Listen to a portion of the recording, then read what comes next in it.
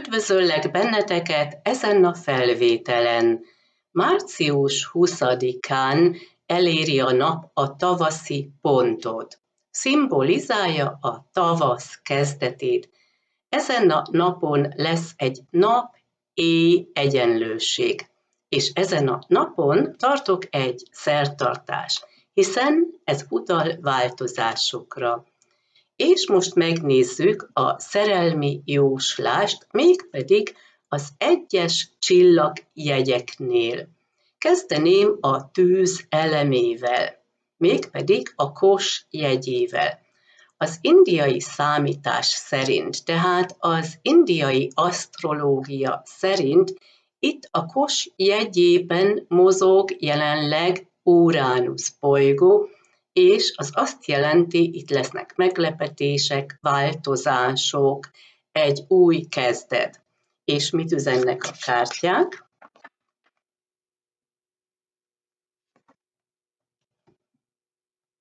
A kos jegyében születettek kezébe vehetik ezt a kulcsot, és ez utal a magabiztonságra, de a cselekvésekre is hiszen ezzel a kulcsal nyithatsz valamit, utalhat a nyitottságra is.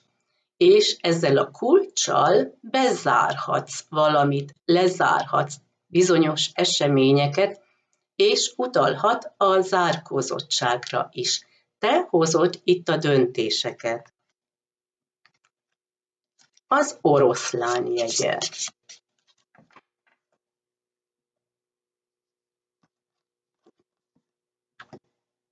Itt érezhető a levegő eleme, a könnyűség, a játszadozás, a szabadság érzete, amit a madarak még szimbolizálnak, ez a kommunikáció, tehát lesznek fontos beszélgetések nálad. A nyilas jegye.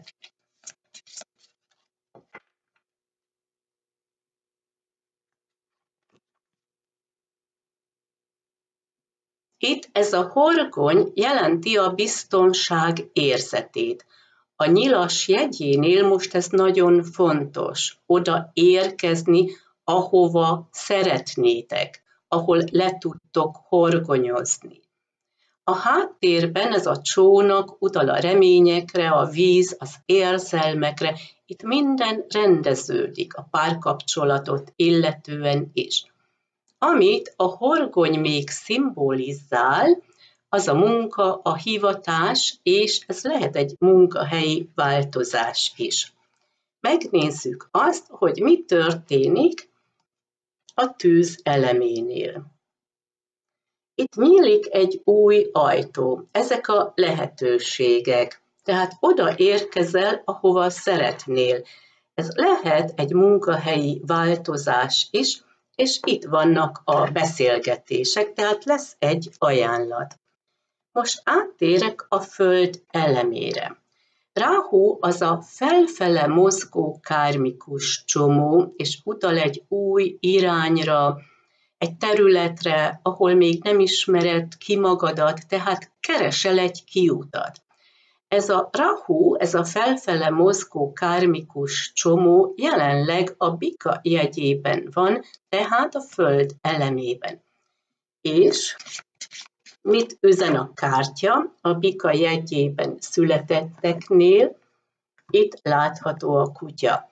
Ehhez hozzá szeretném tenni azt, hogy én csupán azt tekintem meg, ahol a nap van. Tehát az aszcendentust, a hold állását, azt kihagyom, mert akkor úgy összekeveredünk, tehát csupán azt tekintjük meg, ahol a napod van, melyik hónapban születtél. A bika jegyénél itt van ez a kutya. Természetesen jelenthet kutyát, vagy cicát is, amit még ez a kártya szimbolizál, ez a hűség, vagy a barátságok. Tehát a baráti kör, az ismerősök, vagy a hűség, ez áll most a központban. Most megtekintjük a szűz jegyét. Az indiai számítás szerint a hold jelenleg a szűz jegyében van. Kihat az érzelmeinkre, hiszen a hold szimbolizálja az érzelmeket, esetleg az anyukát, az anyai érzelmeket. A szűz jegyében gyógyulásról van szó, itt rendeződik valami körülötted.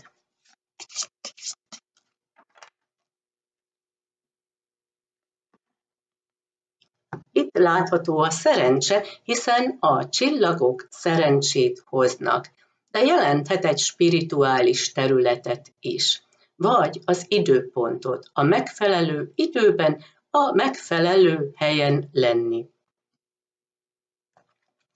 A bakjegye. A bakjegyében most sok minden történik. Ott mozog Mars és Vénusz, a szerelem bolygója. Mars az a férfias energiát szimbolizálja, Vénusz a nőies energiát, és itt találkoznak most a bak jegyében. Azon kívül itt van Plutó bolygó, a hatalom bolygója, megvan a belső erő amit Plutó bolygó még jelenthet, ezek a szexuális témák, hiszen Plutó bolygó uralkodik e felett. Itt mozog Szaturnusz bolygó, a sors bolygója, és Szaturnusz bolygó hatása alatt vannak sorsdöntő döntések, találkozások, változások. És mit mutat a kártya?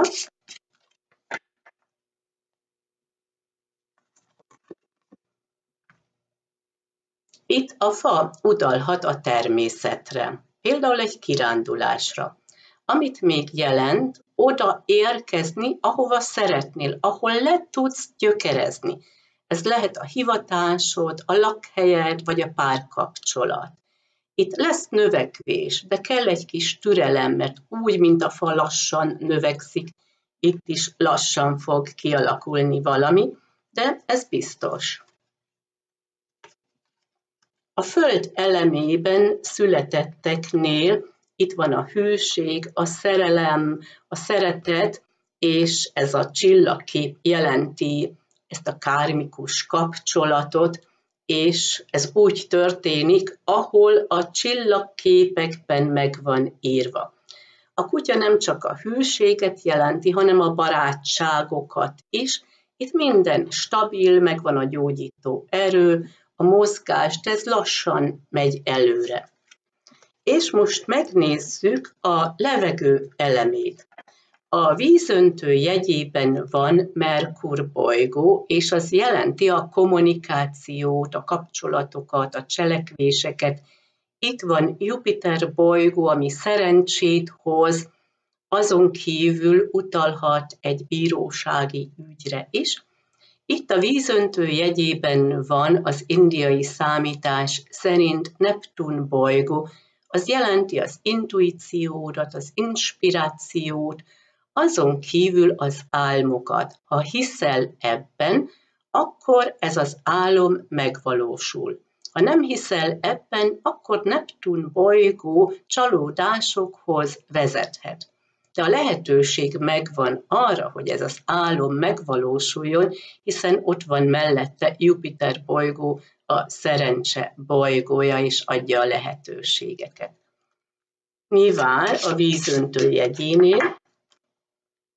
Mi várható?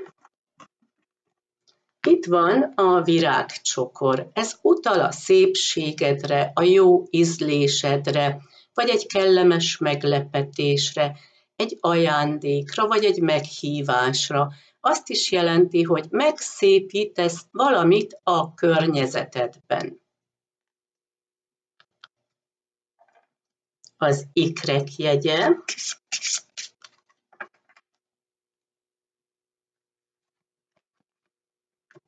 Itt látható a lilium utal az ártatlanságodra, vagy arra, hogy most tisztázódik valami.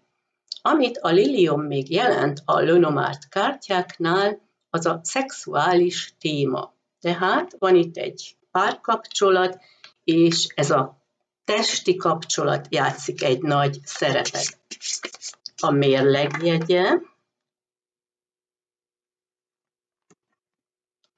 Itt vannak még fájdalmas emlékek, erre utal itt ez az ostor. De ott van a háttérben a söprű, ezt kisöpörheted az életedből. Tehát itt rendeződni fognak a dolgok, mert láthatjuk itt a levegő eleménél, hogy itt még vannak fájdalmas emlékek, vagy valaki megbántott téged, itt tisztázódik valami, és ez az illető megajándékoz téged, vagy bocsánatot kér tőled. Az is lehet, hogy te bántottál meg valakit, és most lelki ismeret furdalásod van, de itt tisztázódni fognak a dolgok. És most megnézzük a víz elemét. A nap az utal a központi témára, ahova oda kell figyelni, jelenti a havi témát is.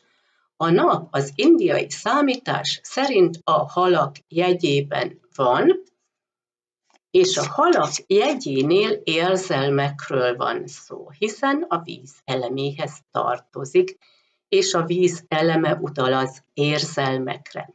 Ebben a csillagképben két hal van, két irány. A negatív érzelmek, mint például a félelmek, bizonytalanságok, az blokkol mindent.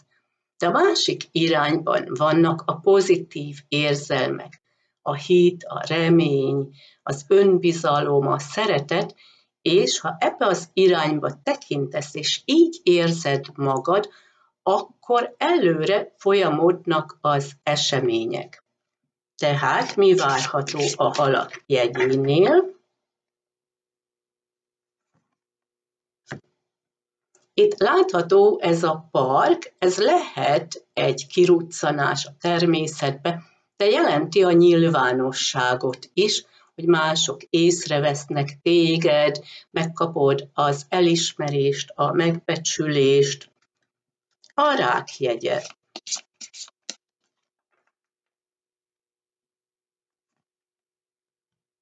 Itt is megjelenik most újra a csillagkép, ami utal az asztrológiára, hogy minden úgy történik, ahogy a csillagképekben megvan írva, jelentheti a szerelmet, egy kármikus kapcsolatot, azon kívül utal asztrológiára vagy spirituális dolgokra, jelenti az időpontot is. A megfelelő időben, a megfelelő helyen lenni, és a belső hangod ezt diktálja. A szkorpión jegye. A szkorpión jegyében mozog kétú a lefele mozgó kármikus csomó, ami utal érzelmekre és utal a múltra.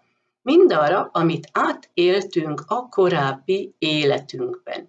Itt vannak kármikus emlékek.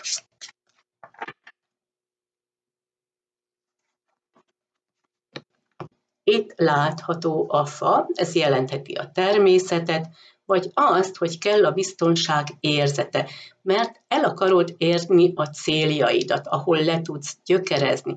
Ez lehet a hivatásod, ez lehet a lakhelyed, ez lehet a párkapcsolat.